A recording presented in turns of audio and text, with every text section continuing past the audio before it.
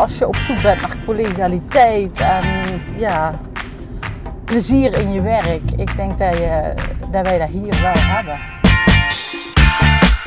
Hi, ik ben Patricia. En ik ben Ingrid. Wij zijn van het Zorg van Anans. Wij leveren thuiszorg in heel Gelderop en onze doelgroep is de kwetsbare ouderen. Wij zijn op zoek naar collega's, verzorgende IG, die ons jong en dynamisch team willen gaan versterken. Ik werk nu uh, ruim 2,5 jaar hier. Ik vind het contact met de cliënten vind ik, uh, heel erg fijn. Uh, ja, dat, is nog steeds mijn, mijn geluksmomentje iedere keer als ik zorg lever.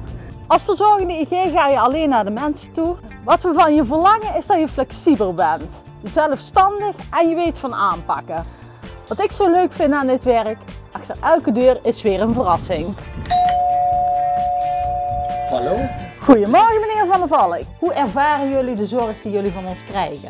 Nou prima, het kan niet beter. Je goed in de gaten houden.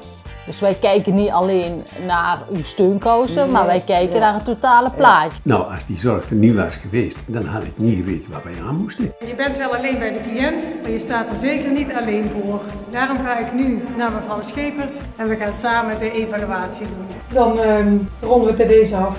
Mocht het niet lukken, dan... Uh dan trek maar aan de bel. Wat zou voor u de ideale collega zijn die hier binnen zou komen? Nou, dan zie je al gauw als ze binnenkomen, hè, dat ze vriendelijk zijn.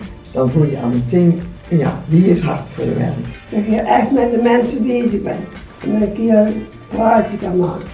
Wat verder nog heel bijzonder is aan ons team, is dat wij geen zelfsturend team zijn. We hebben een planner en we hebben een teamleider. We hebben onze cliënten ook gedaan voor vandaag. En nu gaan we kijken hoe het met onze collega's is en of we nog iets kunnen betekenen voor elkaar. We hopen jullie een goed beeld van onze dag te hebben gegeven.